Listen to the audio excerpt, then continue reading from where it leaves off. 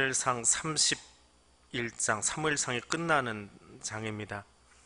예, 사무엘서를 상하로 나누고 사무엘서와 열왕기서를 나눈 것은 어, 후대에 히브리 성경을 헬라어 성경, 그리스어 성경으로 번역을 하는 과정에서 책 분량 때문에 두루마리를 나누는 과정에서 상하가 생겨난 것입니다. 원래는 사무엘서와 열왕기서는 하나의 책입니다. 하나의 책인데 분량이 너무 많아서 두 개의 두루마리로 되어 있었습니다. 그래서 사무엘 열왕기 뭐 그렇게 되어 있는데 번역이라고 하는 것은 원문보다 항상 길어집니다. 그러다 보니까 사무엘서를 번역을 해 놓으니까 두루마리 하나로 안 돼서 두 개의 두루마리가 되었다고 합니다. 그래서 같은 사무엘인데 하나는 앞에 책, 하나는 뒤에 책. 그래서 상하라고 되어 있고 그것이 전통적으로 영미권 번역에서 그대로 가져가면서 그냥 별도의 책인 것처럼 그렇게 되어 있습니다. 네, 실상은 사무엘서와 열왕기서는 하나의 책이다. 하나의 관점에서 사무엘서와 열왕기서를 보면 됩니다. 대신에 역대기서는 같은 역사책이지만 역사서라기보다는 그것을 신학적으로 해석해 놓은 책이다. 그렇게 보시면 돼요. 20주 전에 한번 해드렸던 이야기입니다. 다시 한번 해드리는 거고요. 사무엘 상이 마친다라기보다는 사울의 이야기가 끝나고 있습니다. 우리가 가지고 있는 책으로 사무엘 상 전체 31장 중에 7장이 어, 사무엘에 관한 이야기가 나옵니다. 사무엘사라고 하는데 사무엘에 관한 이야기는 7장 나옵니다. 그리고 그 뒤에 24장이 사울에 관한 이야기로 채워져 있습니다. 그럼 이게 사울의 이야기인지 사무엘의 이야기인지 이해가 안 될 정도로 사울의 이야기가 많이 있습니다. 근데 그 긴 사울의 이야기가 끝나는 곳 거기를 이제 사무엘서 끝 사무엘상의 끝으로 만들어 놓은 것입니다. 자, 사울이 죽습니다. 사울이 죽는다. 사울이 어떤 사람입니까? 이스라엘의 초대 왕이지요. 금연이 부각되면 사울은 이스라엘의 초대 왕이다라고 하는 것이 부각되면 사울 외에는 답이 없냐라는 소리가 나옵니다. 사울이 아니어도 하나님은 다른 사람을 세울 수 있습니다. 그래서 그가 첫 번째 왕이었다라고 하는 것이 부각되면 안 됩니다. 또 사울이 죽는데 사울이 불순종했기 때문에 죽었다. 물론 불순종했습니다. 그가 잘못한 것은 있습니다. 그러나 사울이 잘못했기 때문에 이렇게 죽었다. 그럼 나는요? 나는 이렇게 안 죽을 만큼 괜찮은 사람입니까? 그것도 아주 교만한 관점입니다. 죄인 치고 이 정도로 살지 않는다? 그런 거 없습니다. 죄인은 다 똑같습니다. 그러니까 죄인이기 때문에 불순종했기 때문에 그렇다면 나도 이렇게 죽어야 돼요. 죄인이기 때문에라는 말도 통하지 않습니다. 하나님의 영광을 드러내지 않아서 그렇다. 이것도 같은 이치입니다. 나는 얼마나 하나님의 영광을 드러내면서 오늘 하루를 살았습니까? 여기 예배 자리에 나와 있는 이 시간 말고 오늘 여러분이 사용하셨던 아침에 일어나서 지금까지 뭐 어떤 사람은 한 12시간, 뭐 새벽 기도부터 시작하면 한 18시간, 어, 15시간, 한 15시간 쓰셨을 텐데 그 가운데 하나님의 영광을 얼마나 드러내고 사셨습니까? 그런 내 자신이 사울을 바라보면서 하나님의 영광을 드러내지 않았기 때문에 이렇게 죽었다라고 말하는 것도 어불성설입니다. 말이 안 됩니다. 사울의 죽음에 대해서 이렇다 저렇다라고 판단하려고 하는 것 결국 그것이 죄인의 모습입니다. 내가 하나님 되고 싶어 하는 모습입니다. 여러분의 인생을 마무리하면서 어떤 죽음을 맞이하고 싶으십니까? 멋있게 죽는 것이 뭘까요? 어떻게 죽으면 멋있게 죽는 겁니까? 자, 오늘 본문에 사울의 죽음이 있습니다. 다윗이 시글락 전투를 벌이는 동안에 남쪽에서 시글락 전투를 벌이는 동안에 북쪽에서는 블레셋과 이스라엘의 전면전이 치러지고 있었습니다. 근데 1절에 보니까 블레셋 사람들이 이스라엘을 침해 이스라엘이 도망하여서 길보아산에 이르러 가지고 완전히 패망합니다. 다 죽습니다. 사울의 아들들 요나단, 아비나답, 말기수와도 전사를 합니다. 그리고 블레셋의 궁수의 활에 맞아서 사울이 중상을 입습니다. 저 뒤쪽에 가면 중상을 입었다라고 하지 않고 고통 중에서 죽어갔다라는 표현이 나옵니다. 어느 것이 맞는 표현인지는 모르지만 아무튼 활에 맞아서 꽤 심각한 상태가 되었던 것은 분명합니다. 그리고 나니까 사울이 옆에 있던 무기를 들고 쫓아다니던 사람에게 부관이지요. 부관에게 이야기합니다. 어, 칼로 자신을 찔러달라. 그래서 할례받지 않은 사람들에게 죽느니 네가 나를 찔러라. 스스로 죽는 것을 택하지 않습니다. 오늘 이 본문을 31장의 본문을 어떤 사람들은 자살이라고 하는 관점에서 이 본문을 접근을 하고 자꾸 이야기를 하려고 하는데 그쪽에다 갖다 붙일 그런 구절은 아닙니다.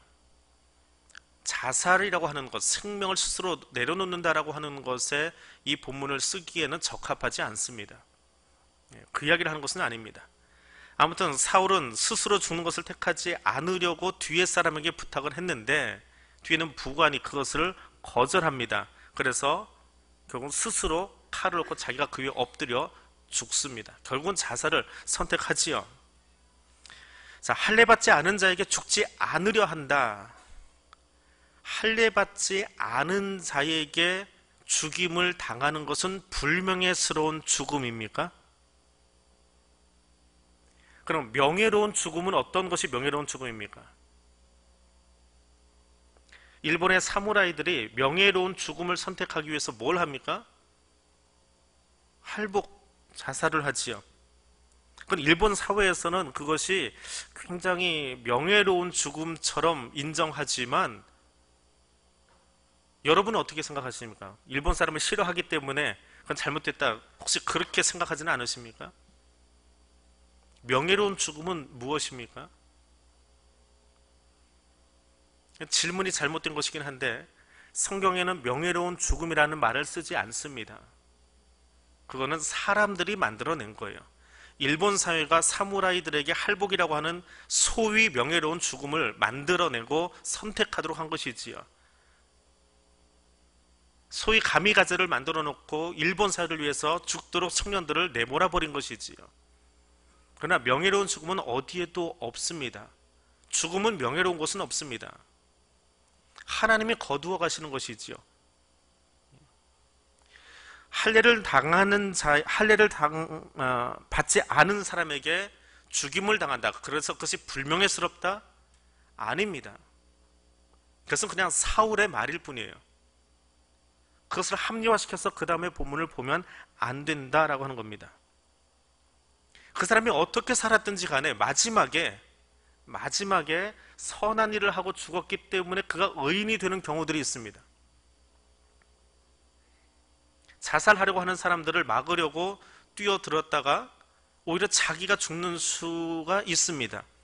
그러면 사회는 그 사람이 지금까지 어떻게 살아왔던지 간에 그것은 아무런 보도도 하지 않고 딱 한 가지 누군가를 살리기 위해서 뛰어들었다가 이 사람이 죽었습니다. 이 시대에 의인 같은 사람이 나타났습니다. 라고 이야기합니다. 그것이 의인입니까? 의인이 아닌가요? 죽음에는 성경이 말하는 죽음에는 의인이라는 말을 쓰지 않습니다. 사울이 죽은 뒤에 옆에서 무기 들었던 자가 죽음을 선택합니다. 왕을 지키지 못한 것에 대한 도의적인 책임을 지겠지요. 왕이 자기를 찔러달라고 했는데 찌르지 않았더니 왕이 스스로 죽습니다. 그 옆에서 그것을 지켜보고 있던 부관의 입장에서는 여러 가지로 부담감이 있었을 겁니다. 충실하게 하지 못했다라고 하는 그래서 스스로 자결합니다. 잘못된 선택이 또 다른 누군가에게 잘못된 선택을 하도록 만들었던 그런 31장의 모습이 등장합니다. 아무튼 성경은 명예로운 죽음은 가르친 적도 없고 말한 적도 없습니다. 성경을 가져다가 어떤 경우든 이혈령 비혈령식으로 명예로운 죽음이라느니 그것이 의인이라는 갖다 붙이는 것은 잘못된 이야기다라고 하는 겁니다. 자, 그러면 사울이 이야기했던 그 이야기, 그것만 오늘 짚어보도록 하겠습니다. 할례가 무엇입니까? 할례가 무엇입니까? 이스라엘의 남자 아이들이 태어나면 어릴 때의 아버지가 그 아이의 표피를 베어주는 것, 그것이 할례라고 하는 것입니다. 사울이 그 할례 때문에 이야기를 했습니다. 저 할례 받지 못한 자에게 내가 죽임 당하고 싶지 않다라고 이야기합니다. 할례는 창세기 17장에서 아브라함을 통해서 맺어진 언약의 증표입니다. 그 할례를 통해서 내가 할례 받았다라고 하는 것을 통해서 이스라엘 사람들이 기억하는 것은 여호와는 나의 하나님이 되어지고 나는 그의 백성이 된다라고 하는 언약의 표시로 몸에 흔적이 남아 있는 거예요.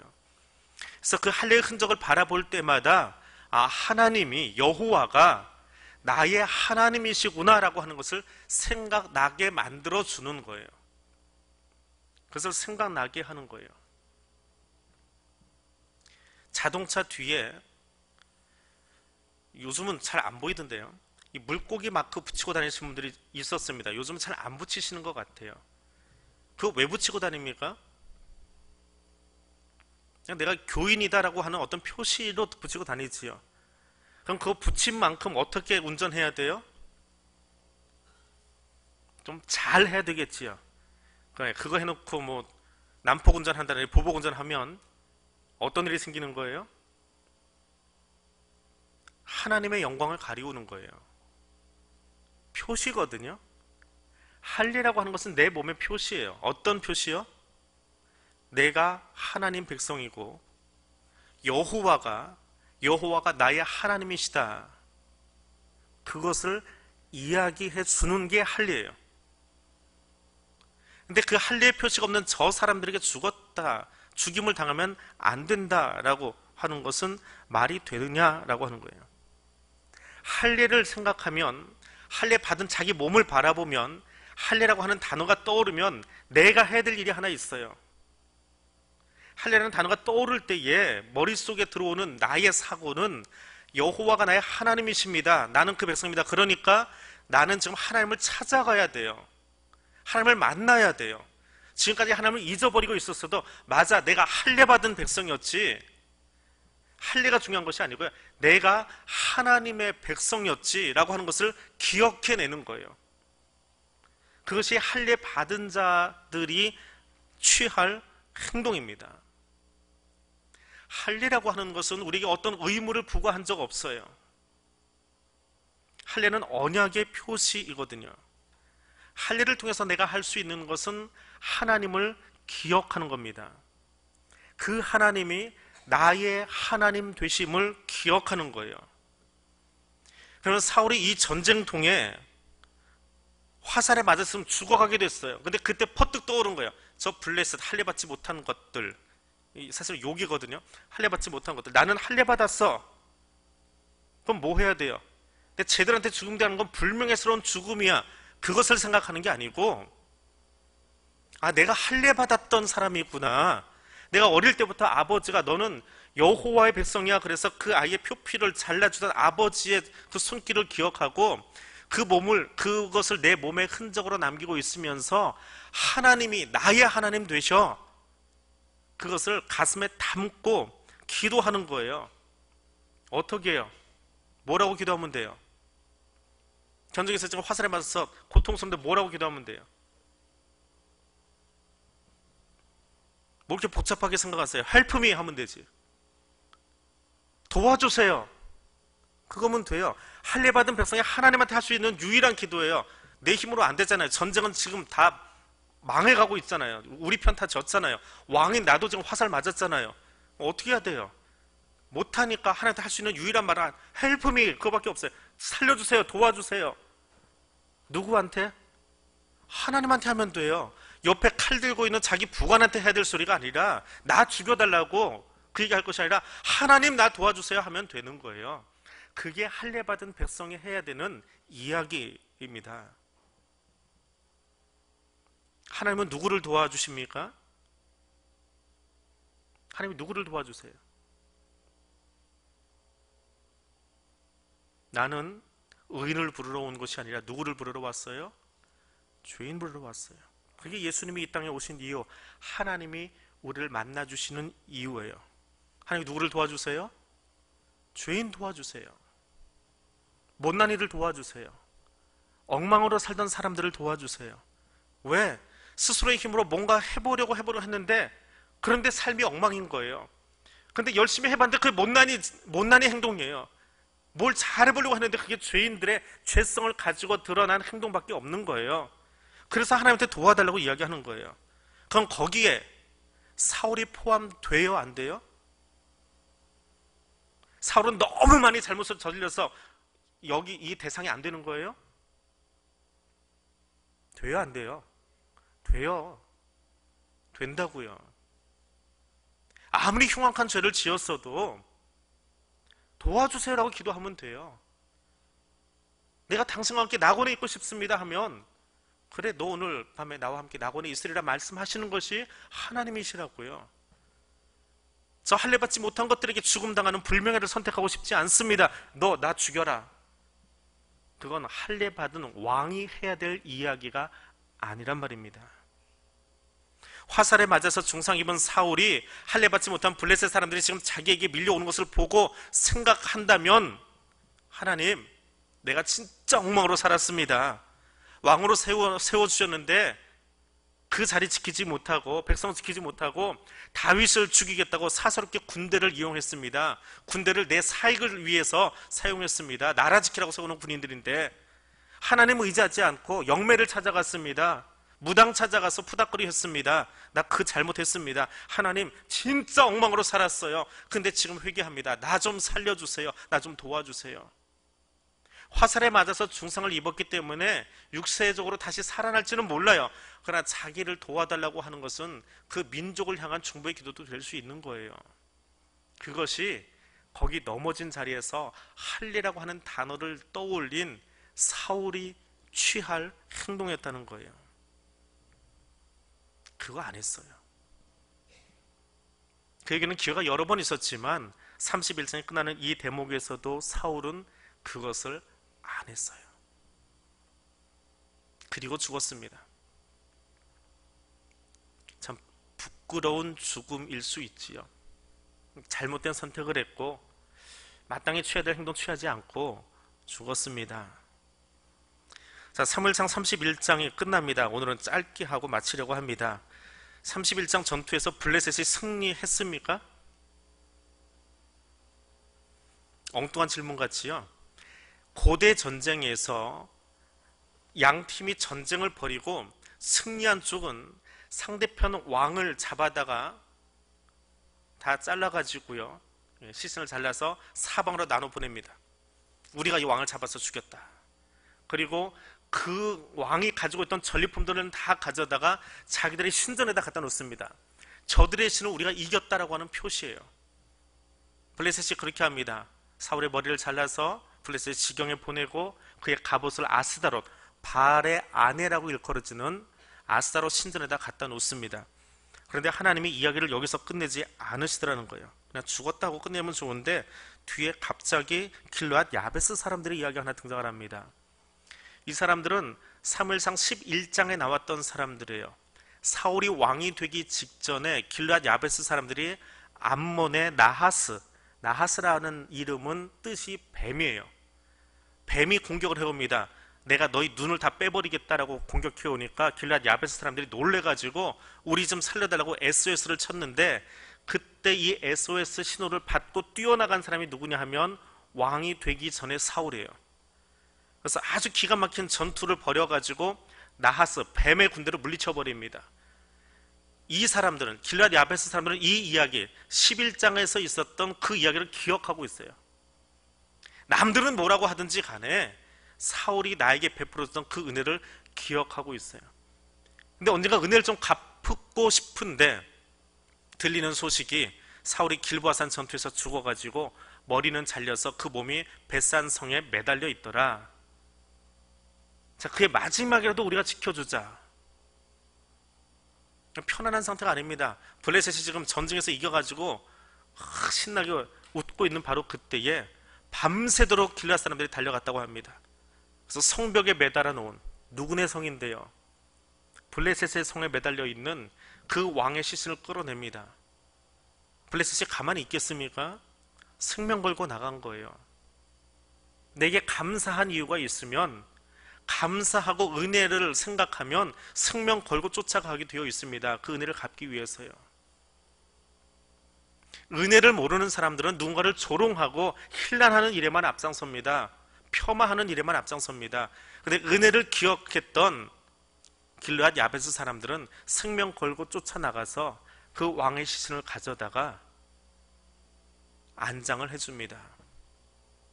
그가 어떻게 살았든지 간에 블레셋 사람들에게 조롱거리가 되는 것으로 이야기를 끝내지 않으시는 하나님의 손길이 있습니다. 짤막하지만 길앗 야베스라고 하는 사람들을 성경에 등장시키면서 은혜를 기억하는 사람들이 어떻게 살아야 될지를 짧은 구절에 표현해 주고 있는 하나님의 음성이 있습니다. 이것이 자살과 연관된 본문이냐 생명과 연관된 본문이냐 그것이 아니고요.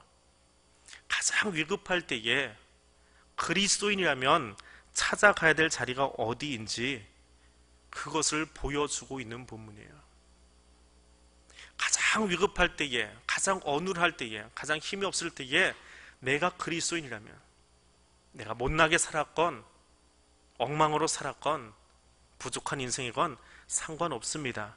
바로 그 자리가 하나님 찾아가고 하나님 만나야 할 자리다라고 하는 것을 기억하시기를 바랍니다. 그리스도인에게서 진짜 안식은 참되는 안식은 하나님 안에서밖에는 없습니다. 다른 곳에서 안식 찾을 수 없어요. 어느 성에서 찾으시겠습니까? 어느 지위를 가지면 거기서 안식을 취할 수 있을 것 같습니까? 좀 더 많이 소유하면 거기가 참된 안식이 주어질 것 같습니까? 왕이 되었어도 하나님을 잊어버리면 안식을 누리지 못합니다. 근데 우리는, 아니, 나는 안식을 취하기 위해서 무엇을 향해 뛰어가고 있습니까? 오늘 보면서 마지막으로 기억할 것은 하나님께서 우리 생명을 취하시는 날까지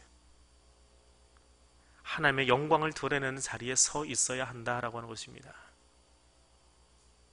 사울이 마지막 그 죽음의 자리에서 화살에 맞고 고통 가운데 죽어가는 그 자리에서도 그가 하나님의 영광을 드러낼 수 있었던 마지막 기회가 있었어요. 내 정체성이 무엇인지를 알고 있었거든요. 근데 알고는 있지만 그대로 행동하지 않고 죽었어요. 그것이 안타까움이에요.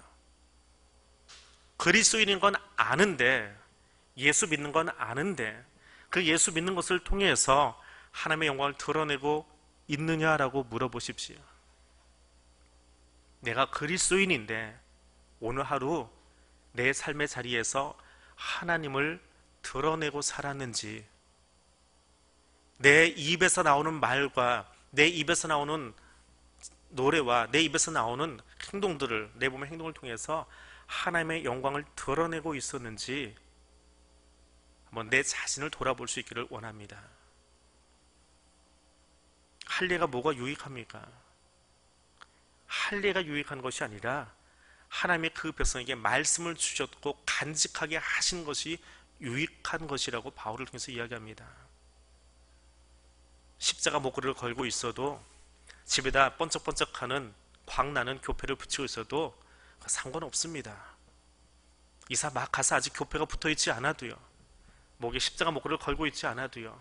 그의 삶을 통해서 그의 입술의 말을 통해서 하나님의 영광이 드러나면 그것이 가장 잘 살고 있는 거예요. 그것이 하나님이 우리를 세우신 하나님이 우리를 세우신 이유예요. 오늘 그 사람으로 살아갈 수 있기를 원합니다.